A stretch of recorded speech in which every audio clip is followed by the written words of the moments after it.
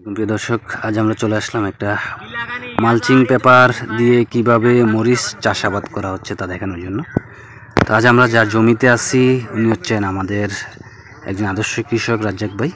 রাজ্জাক ভাই আগাম জাতের মরিচটি চাষাবাদ করার সিদ্ধান্ত নিয়েছে আর এখানে তিনি মালচিং পেপার বিছিয়ে মালচিং পদ্ধতিতে চাষাবাদটা করার জন্য পরিকল্পনা নিয়েছে। তো প্রথমে যে কাজটা করছে রাজ্জাক ভাই, এরকম ভ্যাট আকারে ভ্যাট তৈরি করেছে পুরোটা জমিতে। মালচিং পেপারের মাপ অনুযায়ী মাঝখানে একটা ড্রেন রেখেছেন এবং উনি প্রতিটা ভেডে দুটা শুরু করে মরিচের চারা লাগাবেন। আর ব্যাট তৈরি করার মধ্যে যে জিনিসটা প্রথমে করা হয়েছে, এখানে ইউরিয়া টিএসপি ড্যাপ এমওপি এবং জৈব সার এবং ফোরাডন, জিঙ্ক, সালফার সবগুলো একসাথে মিক্স করে উনি পুরোটা জমিতে পুরোটা ভেডের মধ্যে ছিটিয়ে দিয়েছেন। এক্ষেত্রে যে জিনিসটা সবচাইতে বড় মাথায় রাখতে হবে। তা হচ্ছে বেডটা এমনভাবে তৈরি করতে হবে যেন মালচিং পেপারের প্রস্তর সাইজ অনুযায়ী ওইভাবে মাপ দিয়ে সঠিকভাবে তৈরি করতে হবে। এবং মালচিং পেপারের দুইটা কালার থাকে, একটা হচ্ছে ব্ল্যাক কালার এবং একটা সিলভার কালার তো সিলভার কালারটা উপরের দিকে থাকবে এবং ব্ল্যাক কালারটা থাকবে নিচের দিকে।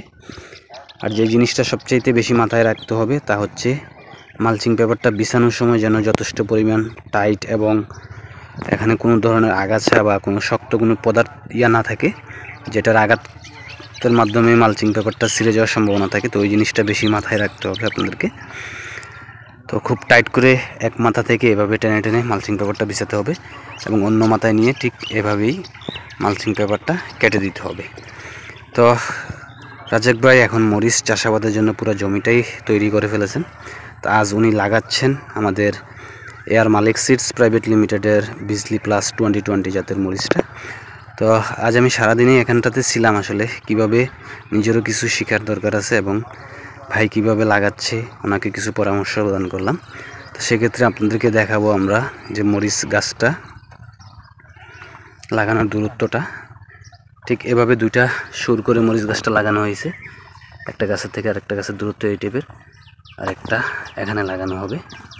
তো আশা করি ইনশাল্লাহ ভাই সফল হবে। জমিটাও খুব উর্বর এবং যথেষ্ট পরিমাণ সার প্রয়োগ করা হয়েছে এবং বৃষ্টির পানি এই জায়গাটাতে জমার কোনো সম্ভাবনাই নেই। এবং এই জিনিসটা হবে যে সেচ দেওয়ারও ব্যবস্থা আছে এবং পর্যাপ্ত পরিমাণ নালার ব্যবস্থা করা আছে যেন অতিরিক্ত বৃষ্টি ফলেও জমি থেকে পানিটা সরে যায়।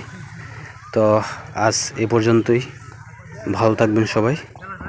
আসসালামু আলাইকুম।